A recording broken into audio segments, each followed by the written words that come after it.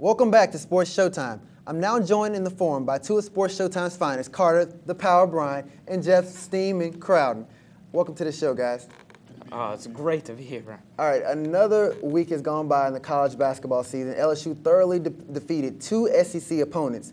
Now, 19 and 4 overall record. Carter, tell me, shouldn't we be getting some more national recognition than this? Man, Brian, hold on just a second. LSU basketball is rightfully not ranked in this week's AP poll, and let me tell you why.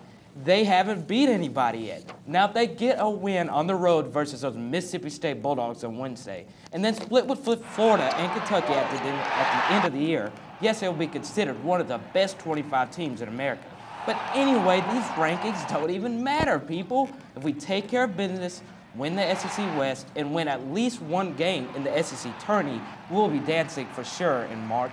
Jeff, I love dancing. I don't know about you, buddy. Carter, I usually agree with you when it comes to basketball, but I just can't agree with you on this one. You know, I know that their schedule is not stacked with top 25 opponents, and they did lose a close game to 14 ranked Xavier, but the LSU is 19 and 4 and 7 and 1 in SEC play.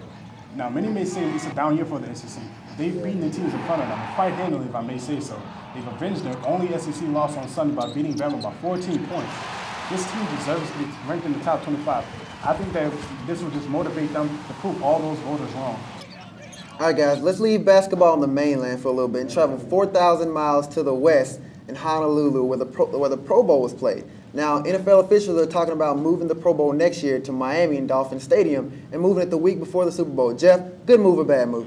Well, Brian, I'm a little bit on the fence on this one um, on this topic because I agree with moving. I don't agree with moving the game a week before the Super Bowl because you don't want to take away from the excitement that the Super Bowl that surrounds the Super Bowl and all the hype that comes with it. But I wouldn't mind if the game was not played in Hawaii. I know it's a tradition to play the game in Hawaii, but not having the game on the mainlands, I think that if you have it in Miami, it will gener- generate a little bit more excitement for an All-Star game that already lacks the excitement that other sports like baseball and basketball has. Jeff, I know the game needs a lot more excitement, but come on. I love the relaxed nature of this game. There's no doubt about it. The Pro Bowl, if it's moved to Miami, it takes away from the experience for their players and their families. Also, if the rule was in place this year, the game's MVP, Larry Fitzgerald, wouldn't have played because he would have had a Super Bowl to worry about.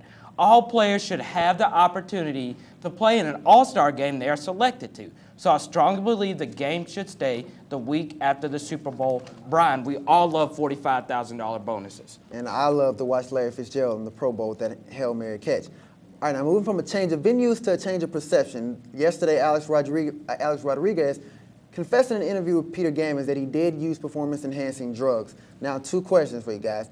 Number one, does it change your perception of, of A-Rod? And number two, if you had a vote for the Hall of Fame, would you vote him in? Brian, let me lead this off. Of course my mind changes towards pro athletes that use PEDs, but A-Rod is a special case. People, he came out of admitted it. Give him credit.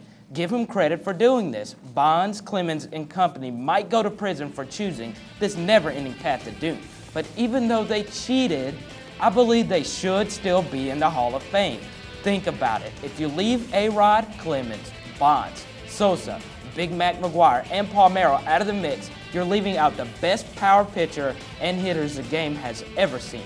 Yet one thing that needs to happen is that it should shine more light on clean future Hall of Fame players such as Griffey, Big Hurt Thomas, Manny and Kenny Ramirez, and of course everyone's favorite, Derek Jeter, Jeff. Come on now, you know these guys are clean.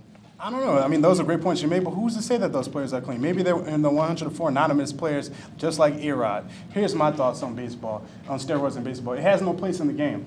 But Major League Baseball let this happen in their sport and profited off players like Sammy Sosa and Mark McGwire. It turned a blind eye to it. Although I think steroids use is wrong, I do believe in giving people a second chance. And I also believe that with or without steroids, A-Rod would have made it to the Hall of Fame. He still has another decade of baseball to play.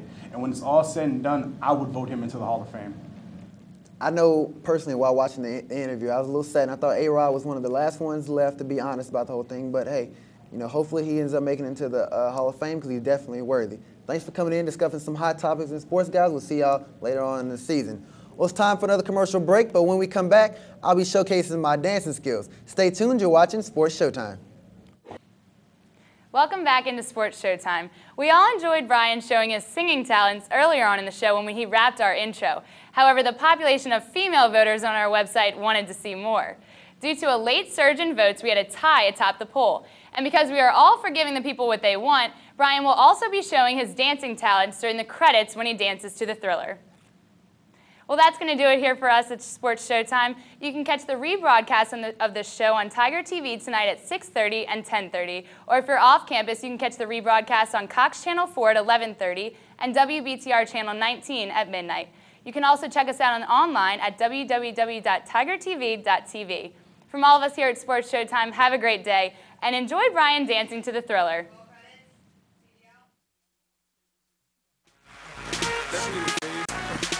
Into the livest game coverage around. Talking LSU sports, showtime in the towns. Get the scoop on the ball and sneak peek on the track. Key in on the field when them Tigers attack. In fact, you get it back a few times a week, but it starts on Tuesday.